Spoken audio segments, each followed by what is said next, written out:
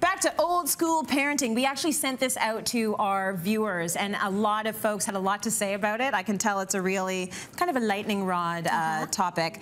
So we said, what old school parenting are you sticking with no matter what? like, no matter what's happening in society, I am sticking to this old school parenting rule. I'm going to start with Patty here. She says, my family's grown, we now have grandchildren. It makes me really happy to see my daughters having family dinner and following through with what they say will happen. If they are parents, not friends. There's time enough for that when the kids become parents themselves. So two things there. Family dinners all around the table together. That's something that's taken a slide these days due to, yeah. I think, a lot of Overscheduling. You know, overscheduling. Yeah. And, and, also, back in our Parents' Day, there was a very strong possibility it was one parent working, whereas today we have two. Yeah, that's true. You know, that does make have, a difference. We didn't have dinners all around the table growing up. So oh, my mom worked the mornings, my dad worked the evenings tonight. So it would be me and my sister in front of the Muppet Show with like, you know, like the TV dinner. TV dinner.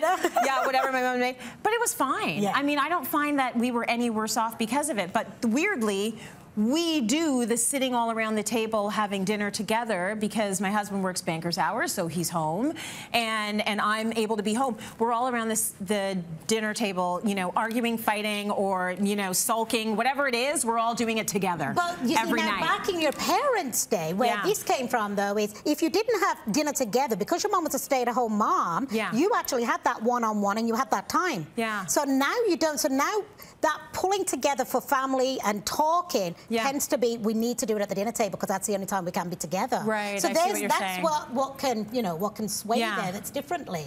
Um, I want to talk about manners because that's that's coming up a lot. And and you're saying you know when you meet a three-year-old with manners you want to do backflips right?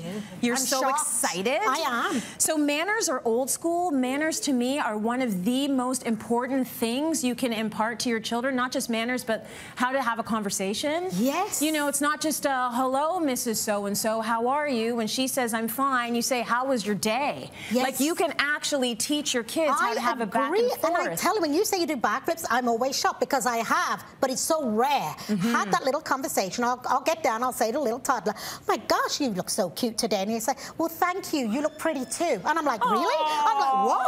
Wow. And I'm shocked. Give that kid a, kid a car. Yeah. Buy him a car. You know, That's amazing. I'm, I'm like, wow, it's not just personality. I think it's good parenting. Yeah. That they, it's not just it's a simple important. yes and no answer. They've set example, right. and that child has come forward because he's seen it, and I think that's fabulous. I think it's great too.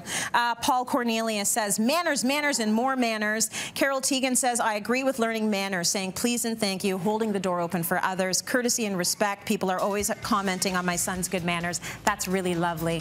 Thanks so much for tuning in today. Have a good one. We'll see you tomorrow on Cityline.